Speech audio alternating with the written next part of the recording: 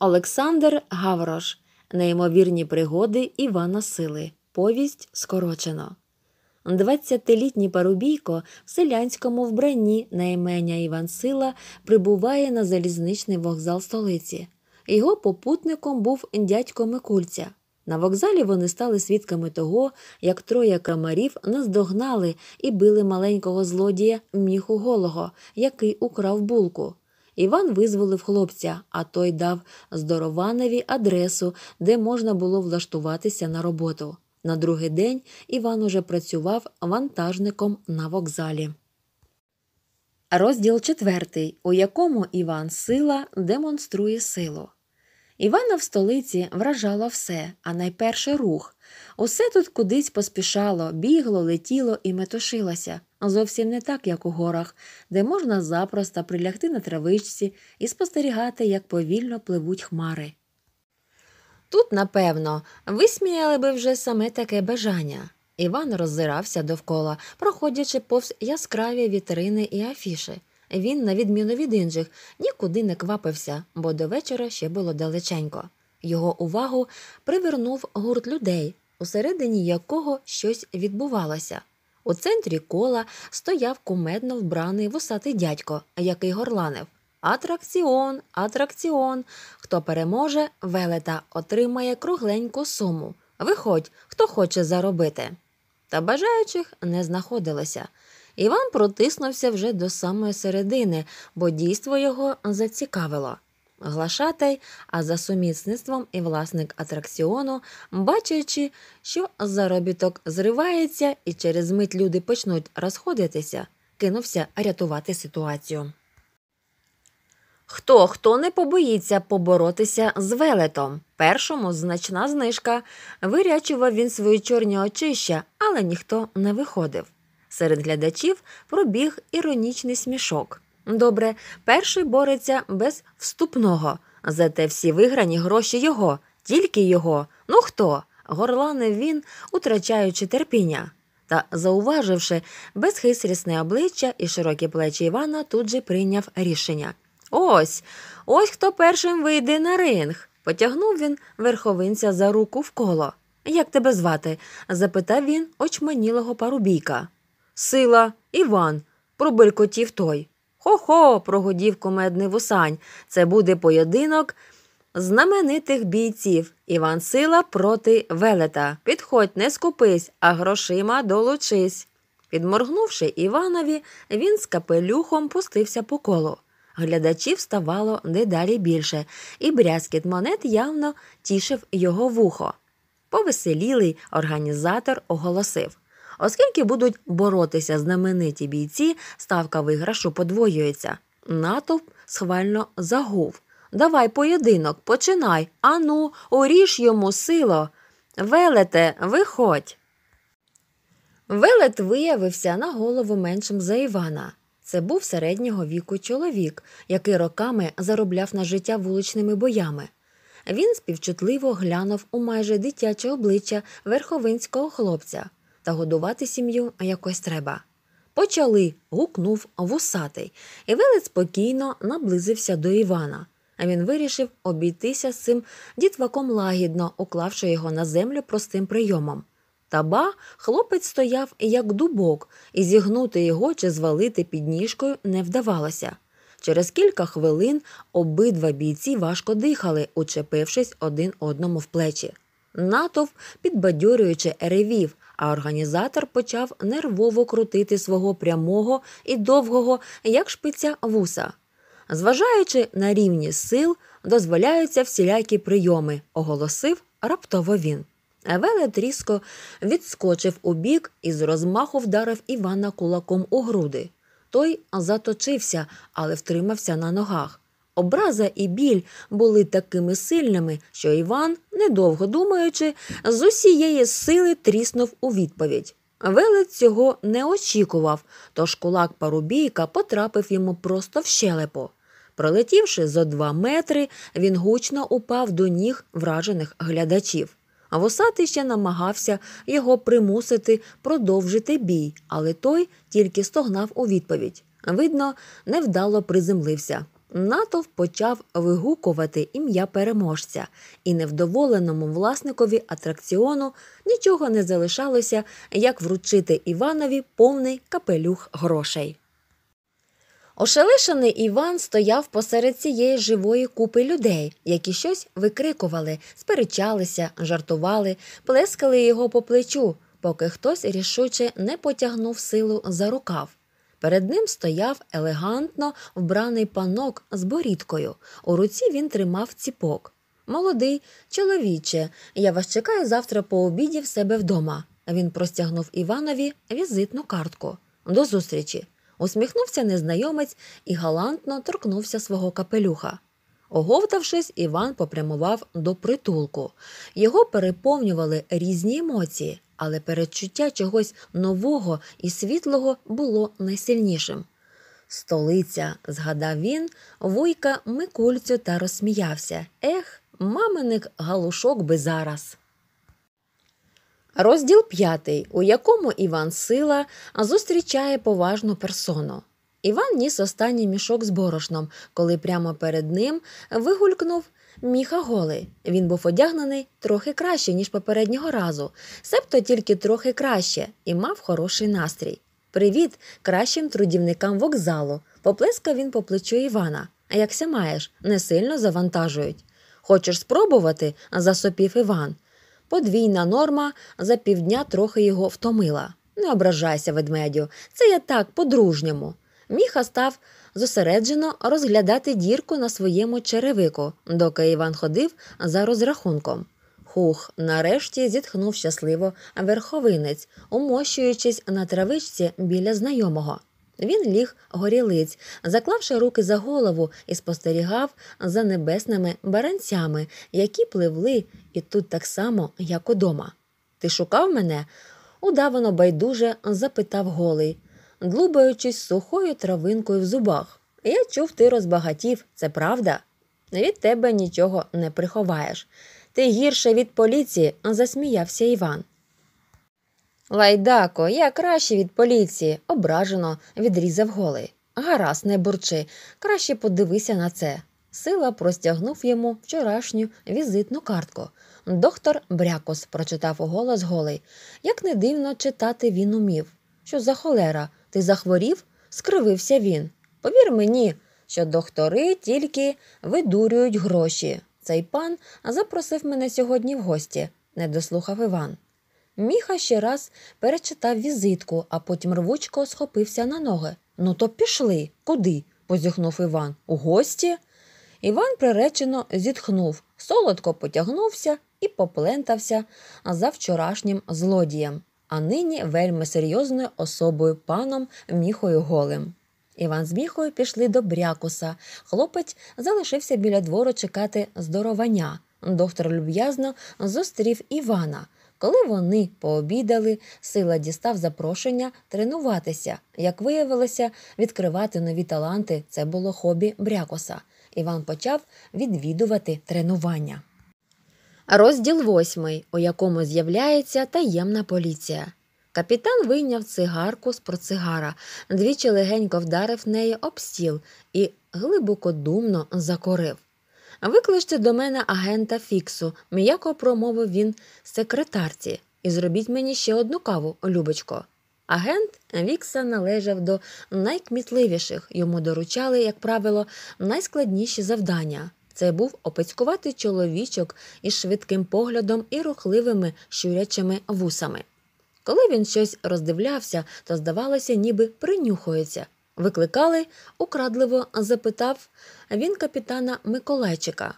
Підійдіть на сюди, Фіксо. Капітан запросив агента до карти, біля якої стояв. А ви знаєте, де це? ткнув він пальцем усередину мапи. Так, пане капітане, це центральний вокзал. Коли ви востаннє їздили залізницею? Миколайчик про щось розмірковував. Учора, пане капітане, якраз повертався з таємного відрядження, хвацько відповів Фікса. Так, так. Не виринав зі своїх роздумів капітан. Отож, із завтрашнього дня ви залишите всі дотеперішні справи і займетеся вокзалом. Я хочу знати про нього все. У нас є секретна інформація, що готується Він щось зашепотів на вухо агентові, у якого від почутого аж зблиснули скельця окулярів. Не може бути, здивувався Фікса. Як би ж то, зітхнув капітан і потягнувся до портсигара. Ага, і розвідайте мені все про такого собі доктора Брякоса, попросив він на прощання агента. Маю честь, клацнув підборами Фікса і розчинився за дверима. Суперагенти вміють і не таке. Любочко, покликав капітан секретарку, добавте на радіо гучність. Здається, це третій концерт для скрипки Антоніо Вівальді, промовив меланхолійно він, закутуючись у хмару сигаретного диму. Розділ дев'ятий, у якому Іван Сила та доктор Брякос дивують один одного. Іван Сила серед комплексу інших вправ виконував і жим зі штангою. Майже щодня він збільшував вагу, але цього разу попросив Брякуса не гратися з ним у дитячі забавки, а дати серйозну вагу. Ого, з усмішкою промовив той. Кошеняткові вже здається, що воно стало тигром. Хлопці, гукнув він до Корнелія та Станіслава, які тренувалися поруч з Іваном. Ану, поставте цьому гірському ведмедеві 120 кіл. Сила підійшов до штанги і без великого напруження підняв її над головою. Є що тут піднімати, подумав Іван, як два міхи пшениці на вокзалі. Він і далі розвантажував вагони, вирішивши призбирати грошенят, але, ясна річ, тримав це у великій таємниці. Ану, хлопці, добавте йому ще 10 кіл, махнув пальцем брякос. Він про щось зосереджено думав. Результат був таким же. Так повторювалося кілька разів, поки вага не збільшилася до 160. Тут уже навіть брякус став непокоїтися. На цей раз штанга далася Іванові нелегко. Він помітно втомився, а тому трохи заточився, однак зумів випростатися та отримати вагу над головою. Від здивування хлопці повідкривали роти. Доктор Брякос зблід далі скоромовкою пролепетав одну секундочку, одну секундочку. Присів над штангою, протер окуляри, ще раз подивився на вагу і раптом побіг у будинок. Через хвильку з'явився шампанським і фужерами. Молодий чоловіче, дорогий ви мій, з порогу схвильовано звернувся брякос до Івана. Це неймовірно, але факт. Запам'ятайте цей день. Сьогодні ви встановили новий рекорд республіки. Ура! Ура! гукнули за тренером Станіслав з Корнелієм. Шампанське пили, сидячи просто на траві. Через тиждень республіканський чемпіонат. Так що готуйтеся, поплескав він по плечу силу. Я завжди вірив у вас. Ми повинні довести їм, що я.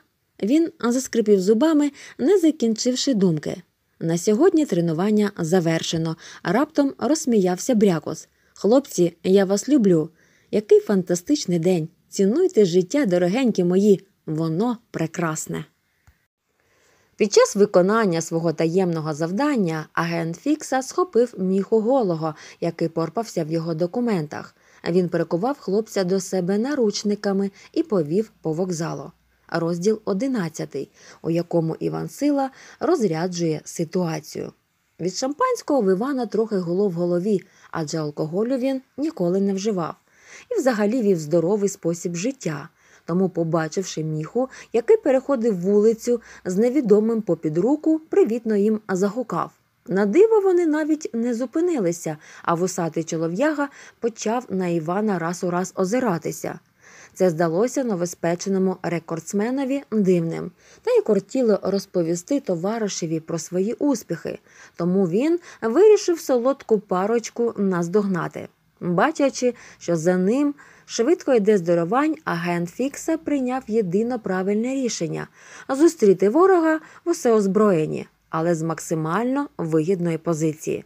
Він звернув у найближчий під'їзд і сховався за вхідними дверима, при цьому так стиснувши хлопчині горлянку, що той не міг навіть пискнути. Міхо, ти де? почувся зовсім близько голос Івана. Ще мить, і його могутня постать з'явилася у дверях. Фікса з усієї сили вдарив рукояткою револьвера силу в потилицю. Але в останній момент міха його штовхнув, тож удар вийшов змазаним.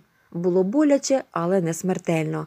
Недовго думаючи, сила з розвороту тріснув у голову постаті, яка так погано вітається з незнайомими, та тільки юкнула і обм'якла, поволі сповзаючи на підлогу. Разом з нею завалилася і постать менша. Сила схопив їх попід руки, мов два мішки картоплі, і виволік на Боже світло. Фікса та голий мирно лежали на травичці, мов янгелики, а Іван гарячково думав, як їх привести до тями. Часу не було зовсім, адже довкола снували люди. Треба було діяти. Сила спробував пошукати ключі від наручників у кишені агента 008, але, натрапивши на поліцейське посвідчення від несподіванки присів. Події набирали неприємного розвитку. Розділ 12, у якому про Івана Силу починають говорити. Зала, у якій проходили змагання, була переповнена. Ще пак, чемпіонат республіки то вам не фиглі. Вправи виконували в кількох видах, кожний робив по три спроби. Безперечним фаворитом вважали дворазового чемпіона Магдебуру, до того ж він представляв силові органи, а силові органи це майже республіка. А ображати республіку хотів би я побачити такого сміливця. У молодості Магдебура був поліцейським, і чи не в кожному поліцейському управлінні висів його портрет. Не дивно, що й на чемпіонаті Магдебура мав найбільшу групу підтримки. Аби уникнути зайвих балачок, поліцейські були переодягнені в цивільних. І за порядком подивляться і свого підтримують, вважало керівництво.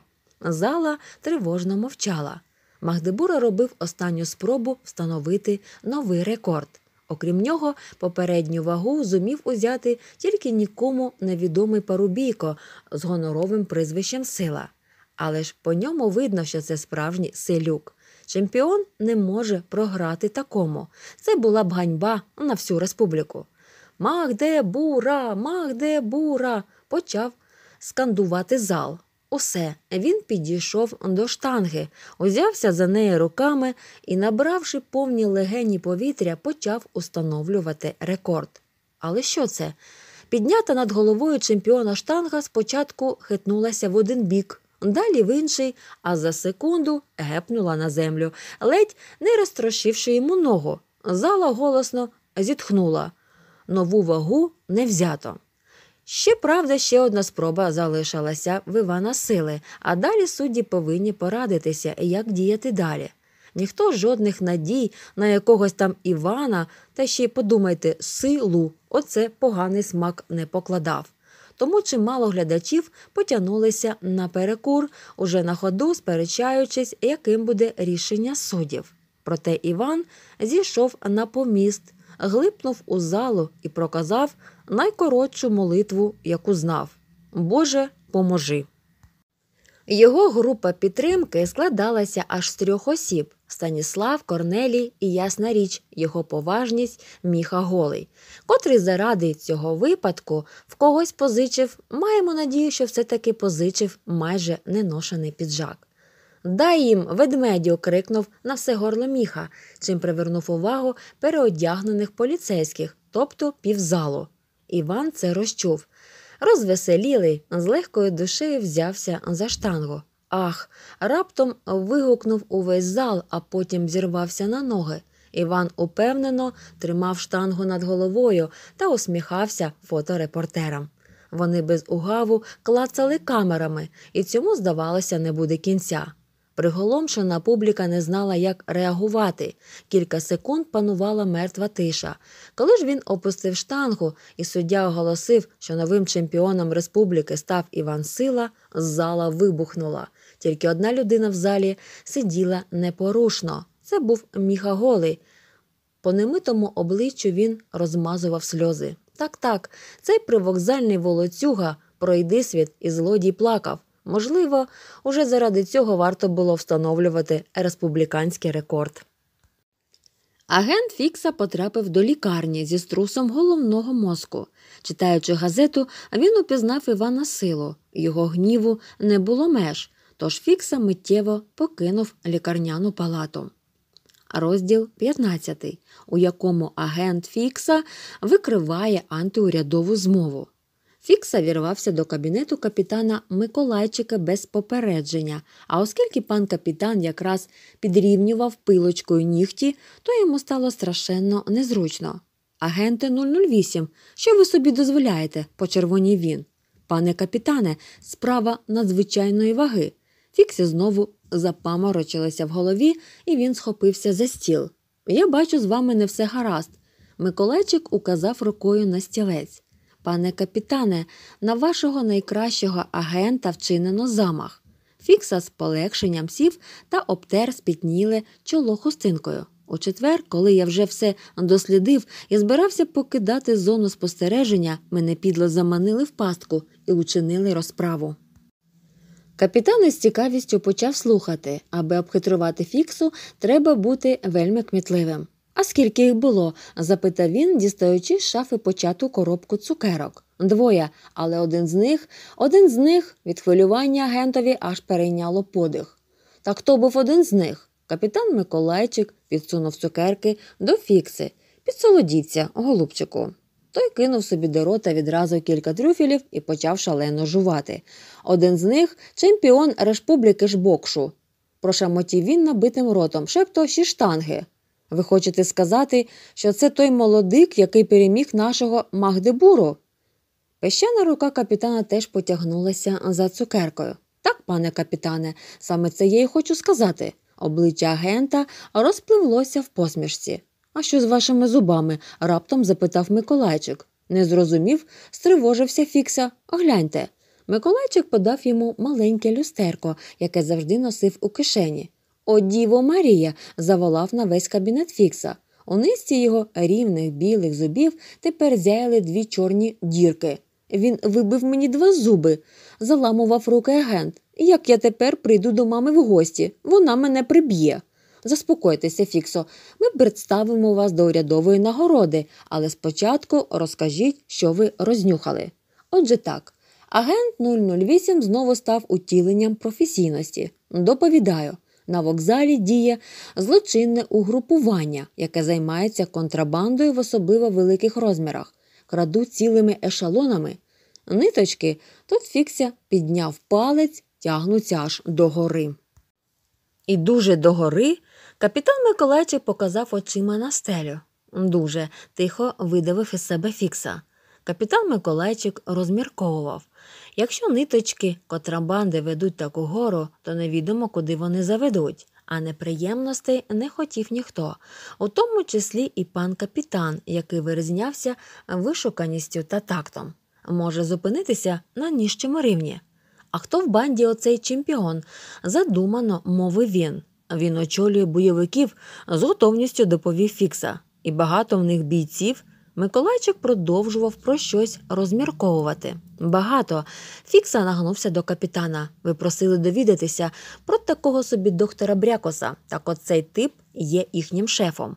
Діють під прикриттям домашнього спортивного клубу. Удома в Брякоса штаб-квартира і навчальний центр штурмовиків. Не здивуюся, якщо там виявиться і склад зброї. Діяти треба негайно. Ну, це нам вирішувати. Коли діяти, з притиском зауважив Миколайчик. Була п'ятниця, а пан капітан вельми не любив розпочинати щось перед вихідними. Суботня гра в гольф це свято. Почнемо операцію з понеділка, прийняв він рішення. Обмежимося поки що бойовиками. Доктор Брякос уже вибудовував неймовірні плани. Він уявляв у центрі столиці розкішний будинок з написом Спортивний клуб доктора Брякоса. Аби Івана не перехопили конкуренти, він вирішив з ним домовитися, запросивши здоровання до заміського ресторану. Під час поїздки за місто відмовило кермо, і авто, кероване брякусом, урізалося в скелю. Доктор помер на місці, а Іван Сила потрапив до лікарні. Його навідав агент Фікса і пригрозив, що від нього чемпіон не втече. Верховинець швидко одужував, молодий організм брав своє. Після цього його було доправлено до в'язниці. Обшук у помешканні загиблого тренера нічого протизаконного не виявив. Міха голий не пас задніх. Він через знайомого журналіста передав інформацію про новинно засудженого чемпіона Івана Силу в пресу. Тут утрутився генерал Хрунь і наполіг, щоб силу звільнили під заставу, але справу проти нього поки що не закривали. Агента Фіксу було відсторонено від розслідування. А розділ 21, у якому Іван Сила потрапляє в нову неволю. Звістка про те, що за звільнення Івана Сили поліція просить 50 тисяч застави, приголомшила не тільки Івана, а й друзів. Ці величезні гроші зібрати було не під силу не тільки оточенню міхи голого, а й усій зміні вантажників. Доводилося чекати заступництва якоїсь впливової особи. Та одного ранку до камери зайшов старший слідчий Бенсик і злобно просичав, що обвинувачений може збирати речі. За нього внесли викуп, але це не значить, що справа проти Івана Сили закрита. Особисто він, старший слідчий Бенцик, сподівається на швидку зустріч.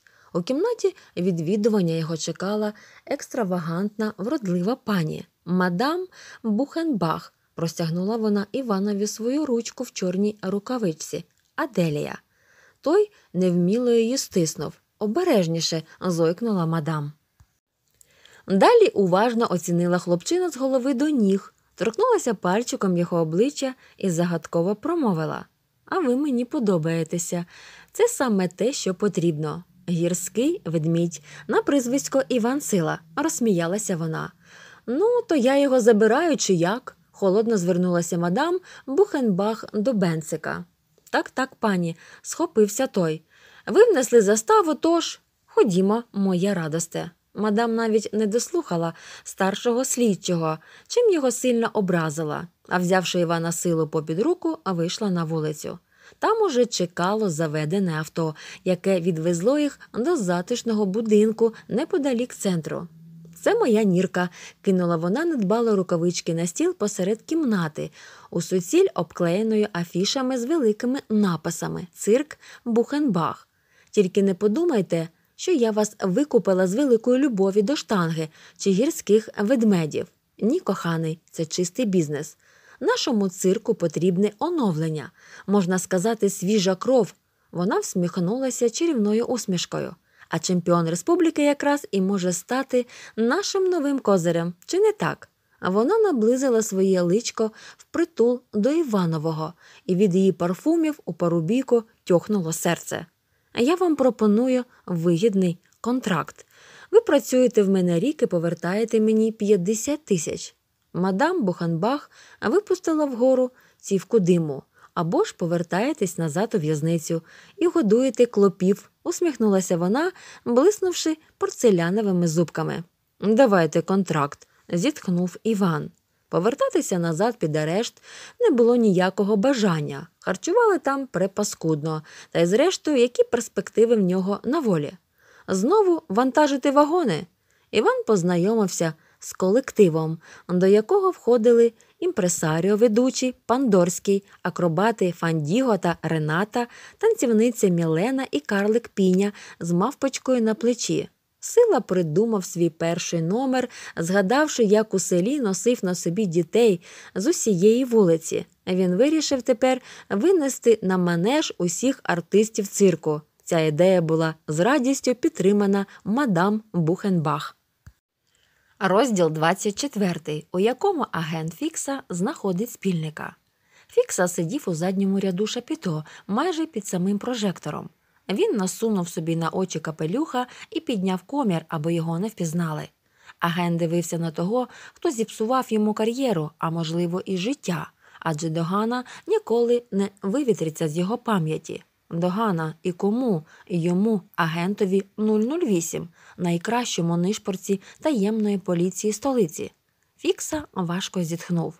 Іван Сила прислуговував повітряним гімнастам під час їхнього виступу, притримуючи канат і підстраховуючи їх знизу. Він був у чорній, розшитій золотом шкіряній жакетці, накинутій на могутні голі груди. От на що здатен оцей вантажник тримати шнурки та носити діжки з оселедцями. Тьху. А з усіх циркачів агентові припав до вподоби лише карлик. Він такий же нещасний, як і я, думав Фікса. Усі його схобуть, навіть дурна мавпа. Треба з ним ближче познайомитися, вирішив він і став чекати завершення виступів. Піня з недовірою поставився до похмурого типа щурячими вусами та насунутим на очі капелюхом. Чого вам треба? буркнув він. Хочу випити з вами пива, шановний, блиснув у пітьмі двома золотими зубами Фікса. Так так, недавні дірки заповнилися найдорожчим металом. Дармове пиво карлику завжди подобалося, але з якої речі цей незнайомець такий щедрий? Чому саме зі мною недовірливо глипнув піня?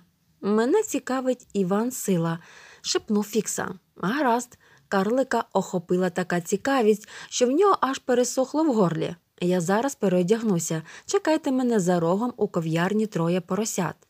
У корчмі було гамірно і накурено.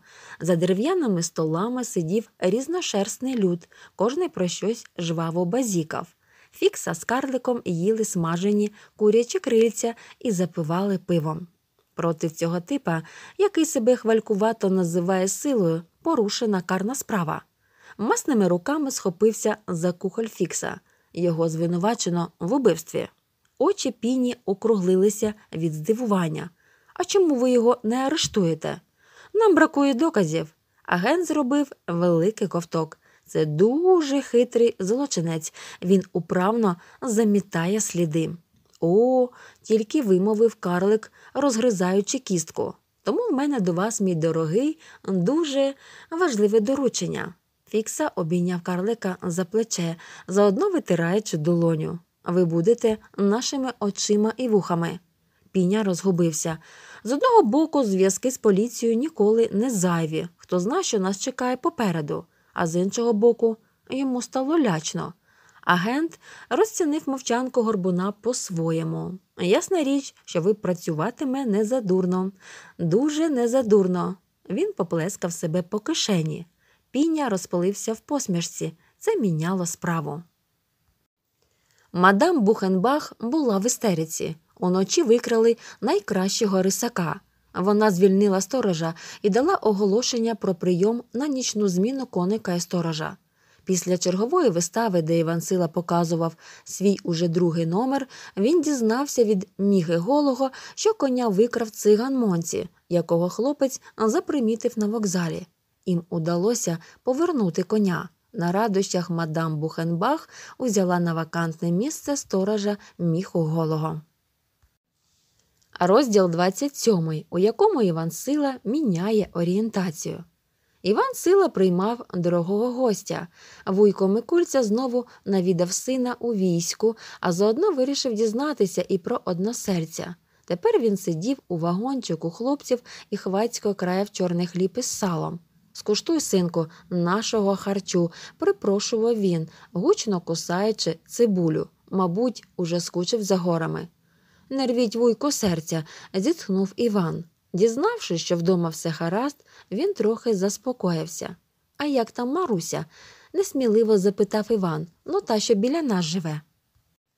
Петрикова хитро перепитав Микульця. Оце вже місяць як віддалася за Михайла Підлісного, знаєш? В Івана аж потемніло в очах, хоч і не мав з Маруською нічого, але вона була для нього як ікона, котрій щовечора молився. Іван згадав її карі оченята, рівненький носик, точені губки, чорну косу до пояса, і всередині аж защеміло, а які вона готувала вареники. Передайте їй оце. Іван простягнув срібний перстень, куплений ним відразу після перемоги на чемпіонаті. Скажете, що від мене. Не журися, синку, підморгнув Микульця. У тебе будуть ще сотні таких молодиць. Іван провів вуйка до потяга, передавши грошей батькам. Хай мама зготують галушок зі шкварками для всієї вулиці. Зажурений, повертався він до цирку. Дізнавшись, у чому річ, міха аж за черево схопився від сміху. Ну, ти даєш, старий, зло втішався він. Так ти тепер вільний, розумієш, сільська твоя голова. Цінуй свободу, поки вона в тебе є. Бачачи, що Іван не відходить, він змінив тон. Гаразд, Оженемо, якщо тобі так кортить, зробимо першим женихом у столиці. Ось тепер це Івана дістало, а він схопив товариша за комір і високо підняв. Гей, брикнувся в повітрі міха, поклади, де взяв. І не подумаю, не повів бровою сила. Знаючи, що Іванової емоції вистачить надовго, голий змінив тактику. Дівчата, загукав він до Ренати з мілкою, які неподалік прали одяг. Наш богатир вирішив оженитися, але не знає, котру з вас вибрати. Циркачки захихотіли. Іван густо почервонів і відразу опустив товариша. Дурень, проказав він. Сам такий, огризнувся міха у відповідь, поправляючи комір. А я не проти, раптом крикнула мілка, і дівчата дзвінко розсміялися. Іван хотів щось віджартуватися у відповідь, але зіткнувся з поглядом танцівниці і замовк. Вона дивилась на нього якось по-особливому, і від цього тілом розливався тривожний щем. А й справді, раптом подумав він, але тут же відігнав від себе несподівану думку. Та головне, що міха свого домігся, Маруська назавжди покинула Іванове серце. Але тепер там оселилася інша, і від цього спокійніше чомусь не стало. Якось до цирку навідався президент республіки. Мадам Бухенбах нервувалася. Іванові силі вдалося здивувати високопосадовця новим трюком. Він одним махом долоною вганяв цвяхи в дошку. Після вистави президент сфотографувався з Іваном Силою і щасливою власницею цирку. Молодий чоловіче, у вас прекрасне майбутнє, промовив президент на прощання Іванові. Я ніколи не помиляюся, повірте моєму досвіду. Через тиждень Іван отримав розкішний конверт із написом Адміністрація президента. У ньому було фото, на звороті напис Іванові силі, котрий прославляє республіку. З вдячністю це був почерк президента. Розділ 29, у якому всі погрожують. Іван почув дивні звуки, ніби плач маленької дитини чи виття невідомої звірини. Звуки чулися з вагончика карлика піні. Сила спробував відчинити двері, але вони були замкнені. Через вікно було слабо видно, але Іван роздивився так і є карлик удома. Але що він робить? У руці він тримає батіжок і шмагає ним мавпочку Беню. З вагончика знову почулися химерні звуки. Іван рішуче постукав у двері. Усередині все стихло. Піню, відчини. крикнув сила. У відповідь ані Чечерк. Відчини, бо вивалю двері. Ще раз повторив Іван. Ти мене знаєш. Коли верховинець став напирати на двері, замок клацнув і на порозі постав переляканий карлик. Чого тобі? буркнув він. Я вже спав. Де мавпочка? грізно мовив Іван. Відпочиває, тремтячим голосом відповів піня. Сила попрямував до великої скрині з одягом, де вона зазвичай ночувала. У самому низу, в куточку, забилася перелякана тварина, яка розумними чорними очима дивилася на Івана. Беню, ходи до мене. Він узяв мавпочку на руки. Ще раз дізнаюся, що ти б'єш тварин, скуштуєш моїх гостинців. Іван показав здоровенного кулака, а Беня поки поживе в нас. Карлик тільки люто блиснув очима. Коли Іван зник, з мавпочкою в темряві піня завив і шмагонув батіжком стіл. Тоді встав і почав одягатися, а він вирішив діяти. Незважаючи на пізню годину, мадам Буханбах ще була в цирку. Пані Буханбах окрадливо почав карлик. Беня зникла. Як це зникла? Пані Аделія після зустрічі з президентом усе ще перебувала в піднесеному настрої. Певно, дурна мавпа сховалася. Судячи з усього, йдеться про викрадення, наполягав піня. У моєму вагончику все догори дригом. Але хто це зробив? Мадам Бухенбах стала уважнішою. Я бачив неподалік Івана силу. Він щось поспішно ніс у руках. Карлик вирішив обійтися без натяків. Мадам зрозуміла, куди хилить горбун. Сила ставав головною зіркою її цирку, і безпідставні підозри такого нікчеми, як цей карлик, почали її дратувати. Я не маю жодних підстав не довіряти Іванові. Зрештою, ми його зараз покличемо і про все розпитаємо. Карлик знітився. Залишався останній аргумент. А чи знає пані Аделія, що сила вже сидів у в'язниці? Перейшов він у наступ, і карна справа проти нього і досі не закрита. Усе, досить. Мадам Бухенбах аж кипіла. Маленька потвора, просичала вона. Я знаю все, бо вносила за Івана заставу. Але якщо ти, підла твоя душка, вона заліпила карлику гучного ляпаса. Ще хоч раз розпускатимеш плітки. Тепер ляпаса горбун отримав з іншого боку. Тоді скуштуєш ось цього, показала вона піні батога. А тепер геть звідси, і щоб я бачила тебе тільки під час виступів. Карлик, заткуючи, вилетів з вагончика директриси, але перечепився через поріг і з розгону розтягнувся в калюжі. Болото змішалося на його обличчі зі сльозами безсилля. Клянуся, повернув він голову в бік Іванового вагончика. Ти за все це відповіси. Мадам Бухенбах хряснула дверима. Вона мала свої причини для лютування. Після візиту президента і розмови з його помічником справа проти Івана Сили була закрита. Сьогодні вона одержала свої 50 тисяч назад, але тримала це в глибокій таємниці. По-перше, заставою вона прив'язувала Івана Силу до свого цирку, а по-друге, гроші зайвими ніколи не бувають.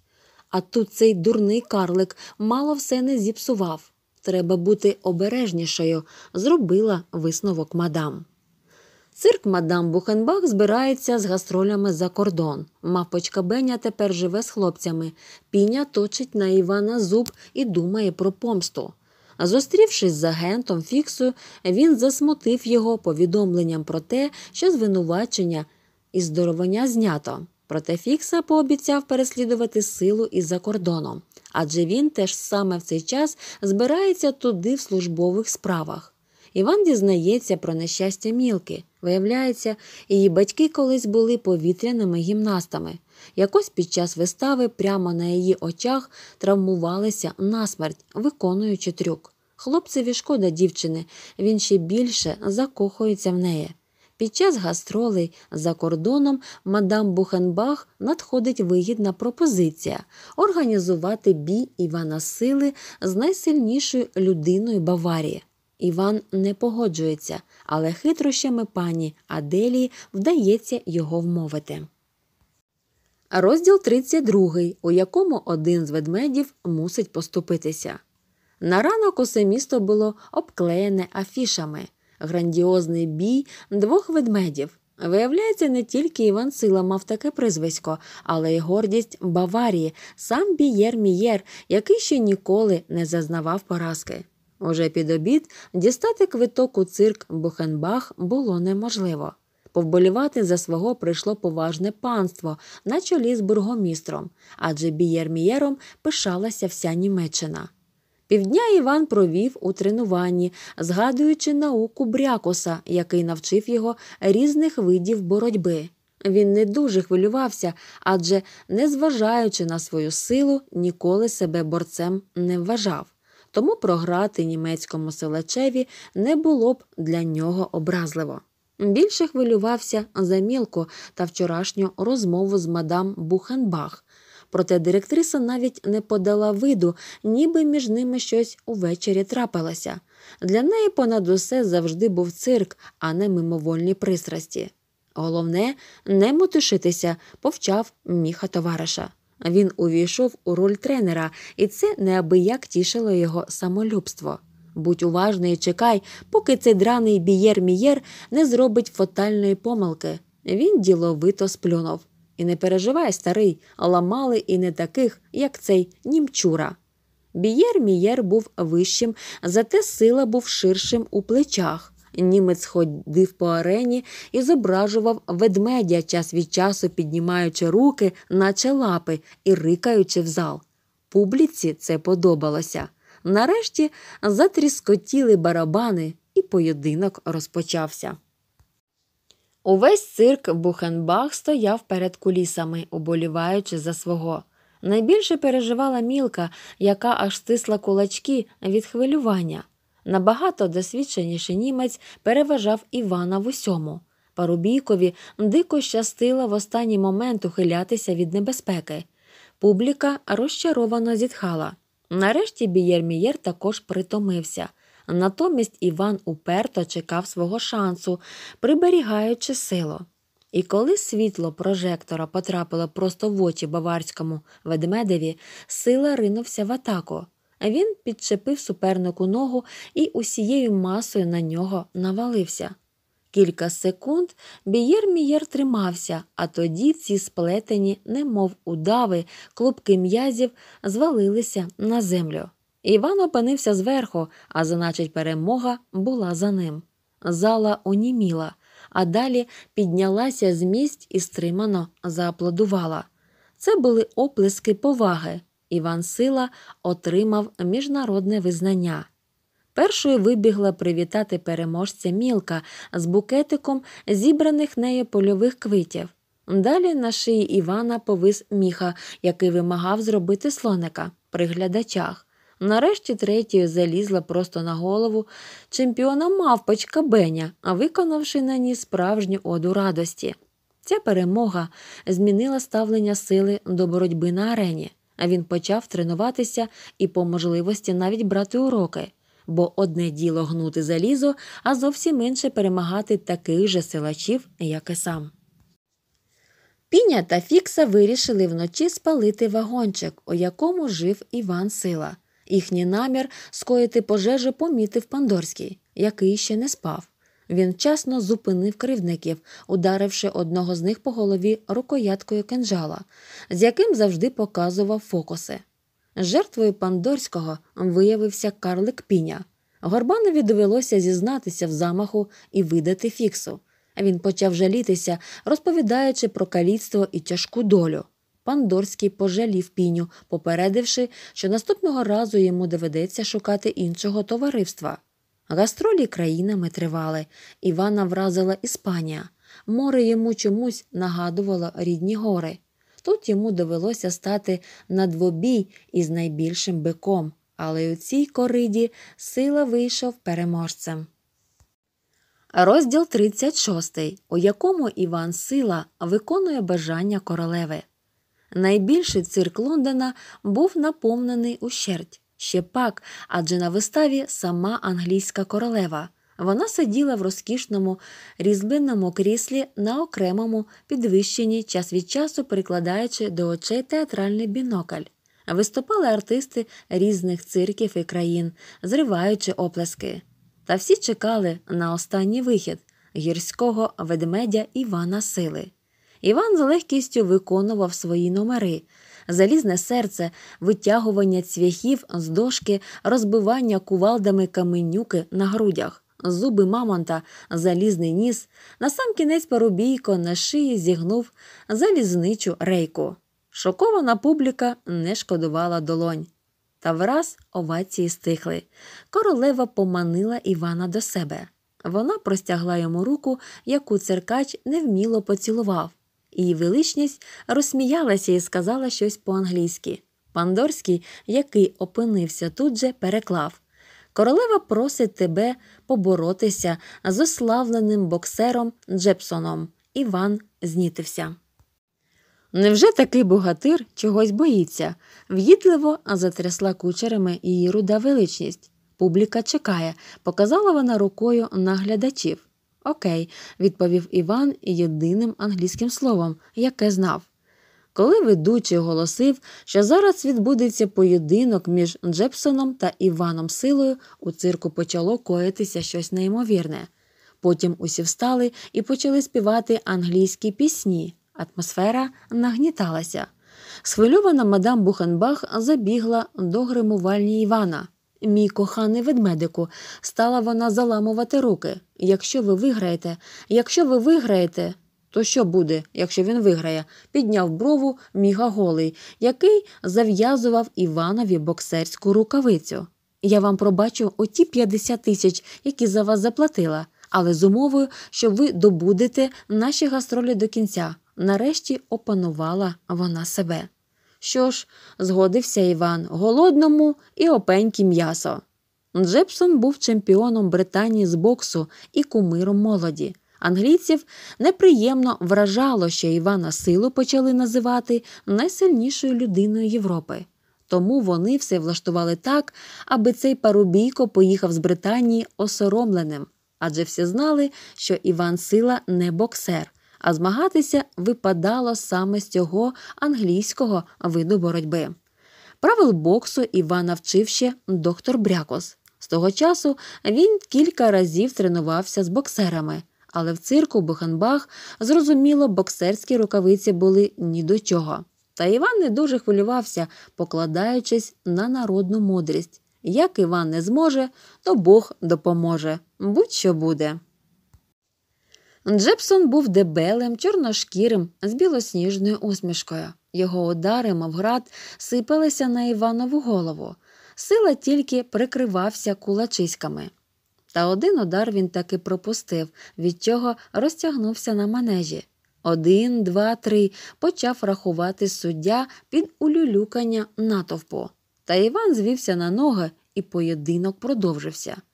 Коли ж Джепсон боляче вдарив його в печінку, а далі в брову, ой, що зараз буде, зажмуртеся.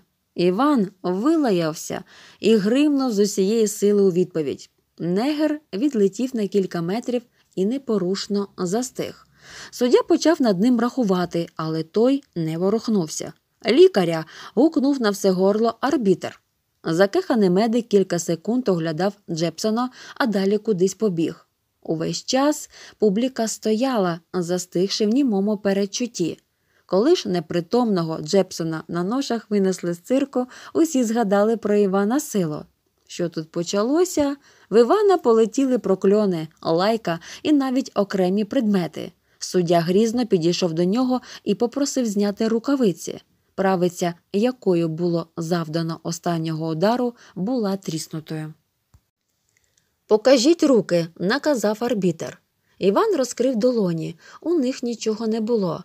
Суддя здивовано похитав головою, а тоді підняв праву руку парубійка догори. Іван сила переміг. Англійська королева покидала цирк розчарованою. У Франції на Івана Силу було вчинено замах. Його обманом завели в темне підворіття та сильно побили кілька чоловіків, сказавши, що це йому за Джепсона. У цей час поруч був агент Фікса, який досі стежив за українцем. А він кинувся до бандитів, щоб зупинити їх і розіграти порятунок Івана. Але ті не розгубилися і гепнули його залізним прутом по голові. Агент 008 зойкнув і знепритомнів.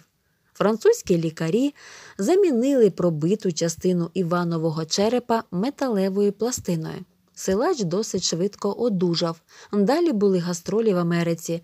Тут піня знайшов свою другу половинку. Іван освідчився в коханні мілці і попросив її руки і серця, на що дістав схвальну відповідь. І в Америці силі вдалося здолати з півтора рази більшого за нього японця та заробити великі гроші.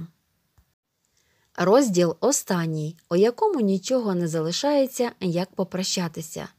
З Америки цирк Бухенбах відпливав уже не в повному складі. На причалі циркачам довго махали рукою дві маленькі фігурки. Це була міс Крокі та її наречений Карлик Піня. Незважаючи на все, розлучення було важким, адже всі розуміли, що в історії цирку настає новий період.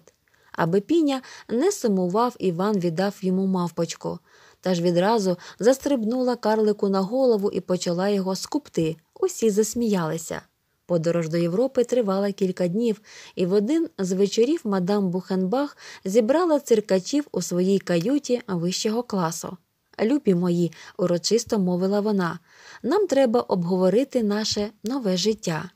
У нас з Ренатою все без змін. Першим бадьоро озвався Фандіго. У мене теж задумано крутнув вуса Пандорський. Друзі, Іван сила підвівся.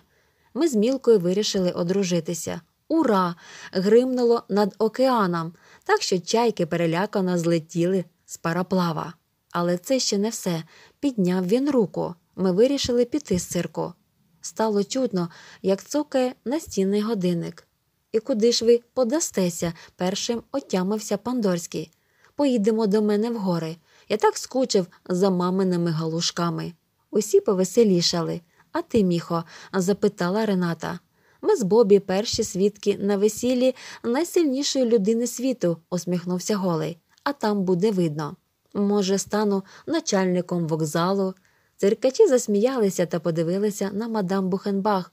Вона була сумна, здавалося, от-от розплачеться.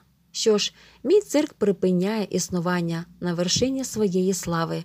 Каюта завмерла.